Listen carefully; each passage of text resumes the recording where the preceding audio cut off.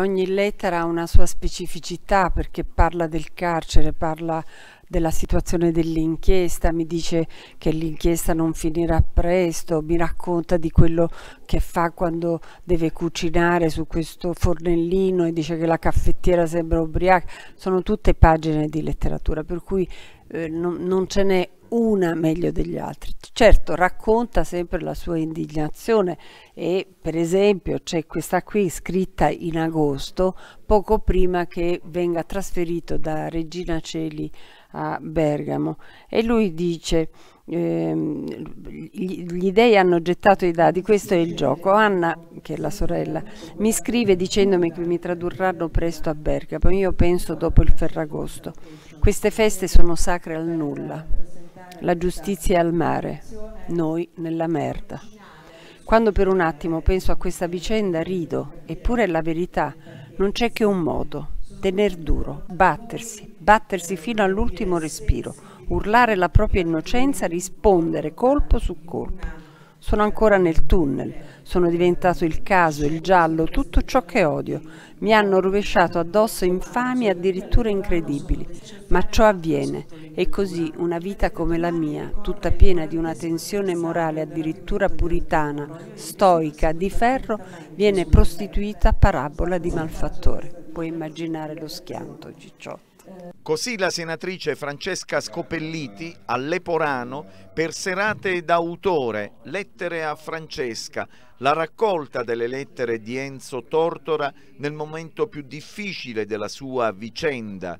Nel castello Muscettola di Leporano a dialogare con l'autrice Nicla Pastore e il sindaco di Leporano d'Abramo. Lo Stato di diritto dovrebbe avere chiaramente dei, dei punti di riferimento, dei punti sostanziali sui quali e quindi sarebbe auspicabile che si arrivasse quantomeno al grado di Cassazione per poi esprimersi su alcuni casi. E poi hanno portato una serie di problemi, abbiamo visto no, nel tempo, eh, di eh, danni eh, che la giustizia ha procurato a tantissime persone, ma non per colpa della giustizia, ma per colpa di alcuni. L'agonia mediatica. L'agonia mediatica, eh, pentiti che erano falsi pentiti, tante altre cose che ha indotto chiaramente gli organi di giustizia a commettere degli errori. Sospensione del giudizio fino al terzo grado di un processo, questo lo dice la nostra Costituzione. La serata è stata organizzata con la collaborazione dell'operatore culturale Giuseppe Giuseppe Semeraro, l'assessore alla cultura Yolanda Lotta. Lui grida proprio questa rivendicazione di innocenza eh, e lo grida con amore verso questa persona che lui ama.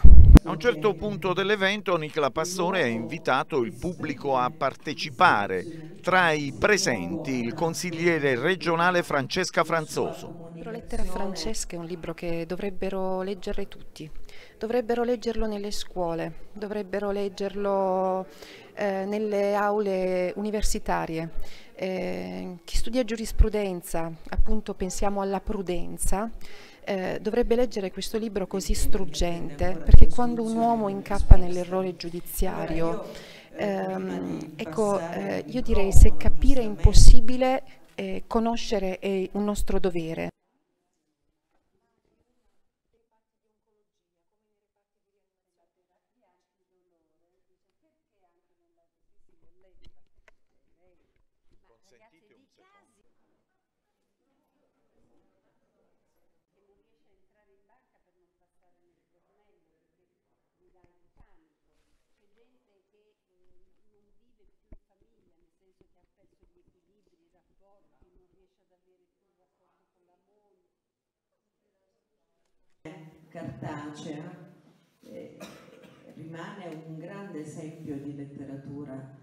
per eh, veramente l'elevatezza dei sentimenti ma anche per la forma attraverso eh, la